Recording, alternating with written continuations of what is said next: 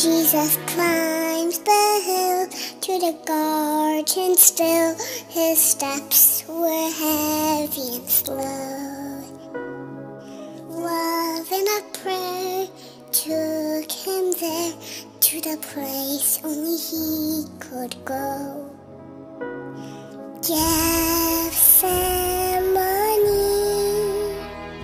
Jesus loves me,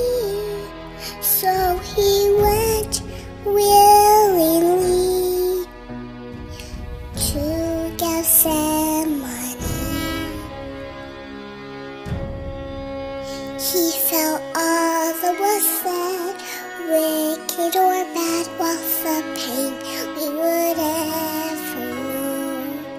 While his friends were asleep, he thought to keep his promise made long